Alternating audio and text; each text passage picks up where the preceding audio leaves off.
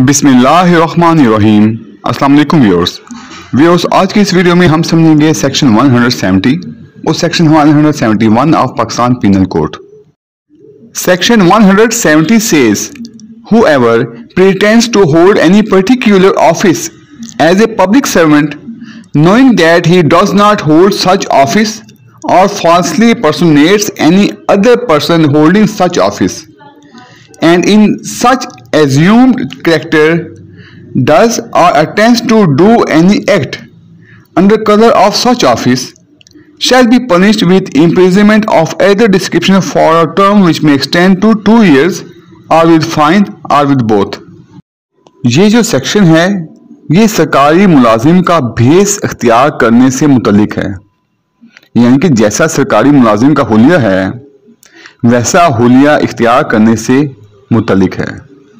इसमें बताया गया है, जो कोई बतौर सरकारी मुलाजिम के किसी खास अहदे पर फाइज होने का ढोंग रचाए,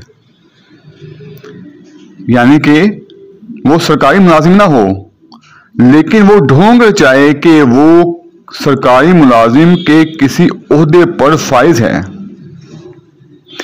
ये जानते हुए कि वो इस अहदे पर फाइज नहीं है।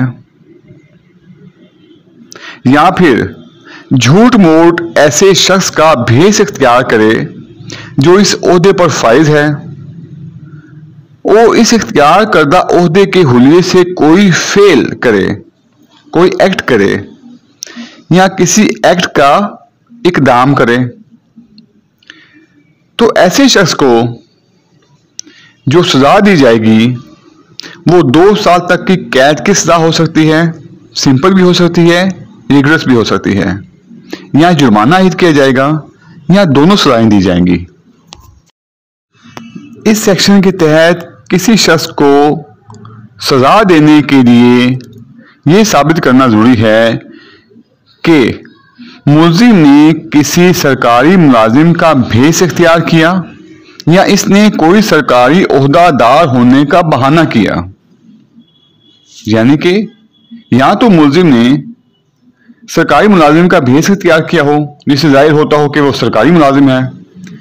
यहाँ पे उसने भेस इख्तियार ना किया हो। इसने सरकारी अहदादार होने का बहाना किया हो। इसने कहा हो कि मैं सरकारी अहदे पर फाइज हूँ। मेरी फला पोस्ट है। दूसरे नंबर पर, वो सरकारी मुलाजिम ना हो, या वो ऐसे अहदे पर फाइज ना हो। तीसरे नंबर पर ऐसे शख्स को सजा देने के लिए यह साबित करना ज़रूरी है कि इसने ऐसा जो इजहार है, वो झूठ मूठ किया। या ये कि इसके इल्म में था कि वो ऐसे अहदे पर फाइज ना था। यानी कि उसके इल्म में होना चाहिए कि वो ऐसे अहदे पर फाइज नहीं है, उसने ऐसा इजहार झूठ मूठ किया हो।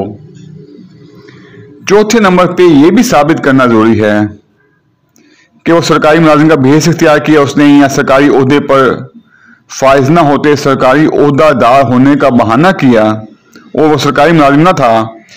लेकिन चौथे नंबर पर एंड पे ये साबित करना भी ज़रूरी है कि इसने ऐसा किरदार अख्तियार किया तो इसने ऐसे अहदे की आड़ में, ऐसे भेस की आड़ में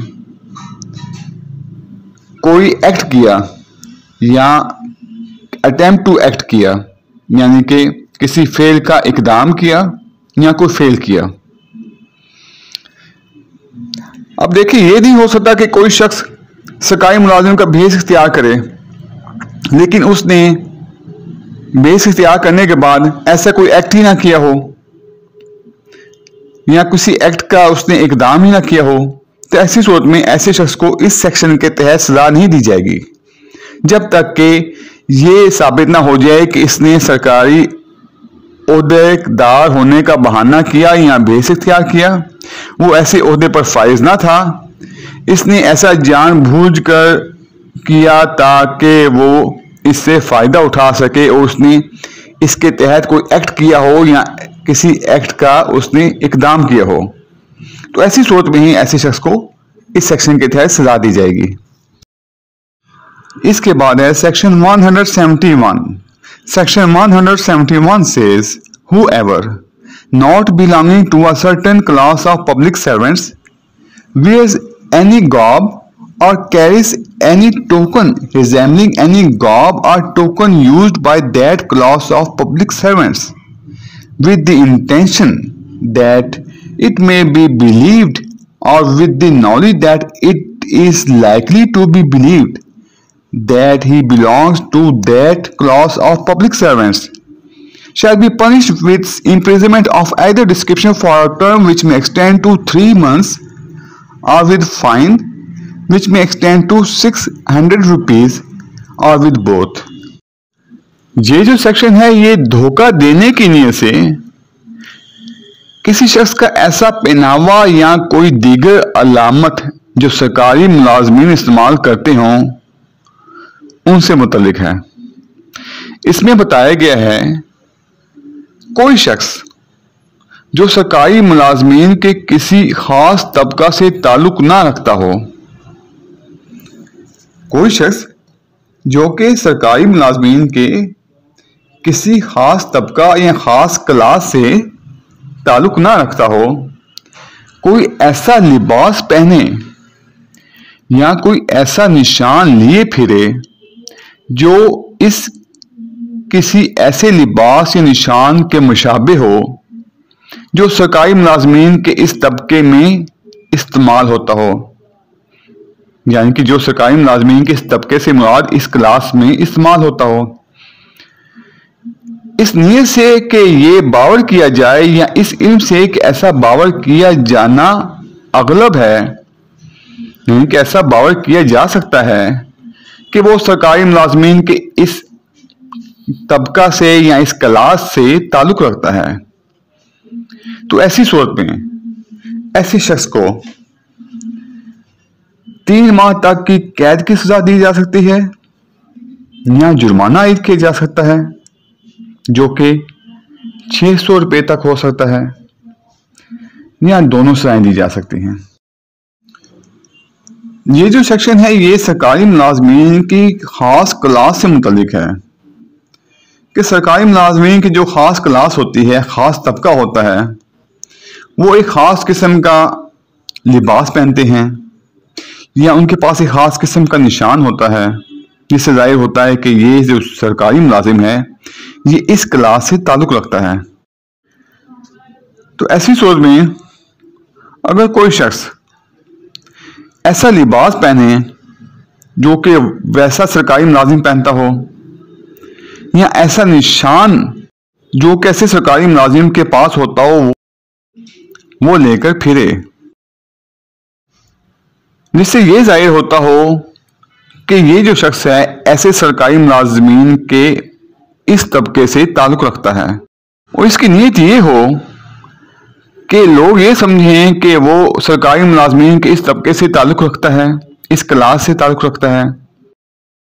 हाँ अब जो सेक्शन 170 में हमने पढ़ा था कि सरकारी मुलाजिम का भेज इख्तियार करना, उसमें शर्त ये थी कि ऐसे शख्स ने कोई एक्ट किया हो या अटेम्प्ट टू एक्ट किया हो, जबकि सेक्शन 171 में ऐसी कोई शर्त नहीं है कि ऐसा जो शख्स होगा वो कोई एक्ट करे या कोई अटेम्प्ट टू एक्ट करे। बल्कि इसमें सिर्फ़ लिबास पहन लेना या ऐसे खास सरकारी तबके का निशान लगा लेना ही काबिल सज़ा होगा।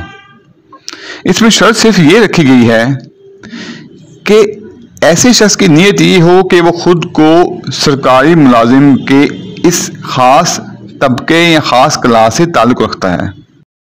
पहले जो हमने सेक्शन 140 पढ़ा था, उसमें फौजी वर्दी या फौजी निशान इस्तेमाल करना काबिल सजा ठहराया गया था। लेकिन इस सेक्शन में सरकारी मुलाजिमों की वर्दी या निशान वगैरह का इस नियत के साथ इस्तेमाल ममनू करार दिया गया है कि लोग इनको सरकारी मुलाजिम समझें।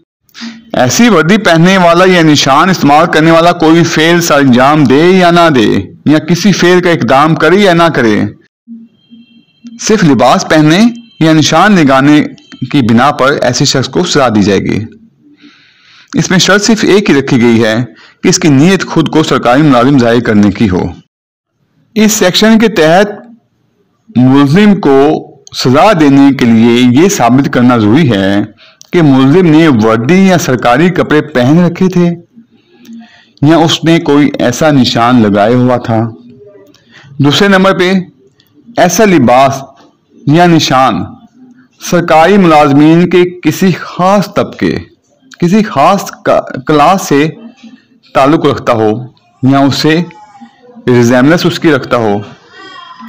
तीसरे नंबर पे ये साबित करना ज़रूरी है कि मुलजिम मुलाजमीन के इस तबके से ताल्लुक़ ना रखता था, जो ऐसा लिबास पहनते थे या निशान लगाते थे। चौथे नंबर पे यह साबित करना भी ज़रूरी है कि मुलजिम ने ऐसी वर्दी या ऐसी सरकारी कपड़े या ऐसा मखसूस निशान इस नीयत से इस्तेमाल किया या लगाया कि इसके इल्म में था कि ऐसा समझा जाएगा कि वो सरकारी मुलाजमीन के इस खास क्लास से ताल्लुक़ रखता है। व्यूअर्स, वीडियो देखने का बहुत शुक्रिया। अगर आप पाकिस्तान पीनल कोड से मुतालिक मेरी दूसरी वीडियोस देखना चाहें तो आप मेरे चैनल पे मौजूद पाकिस्तान पीनल कोड के नाम से प्लेलिस्ट को वॉच कर सकते हैं। आपसे रिक्वेस्ट है कि मेरी वीडियो को लाइक कर दें, शेयर कर दें, मेरे चैनल को सब्सक्राइब कर दें और बेल आइकन को प्रेस कर दें। अल्लाह हाफिज़।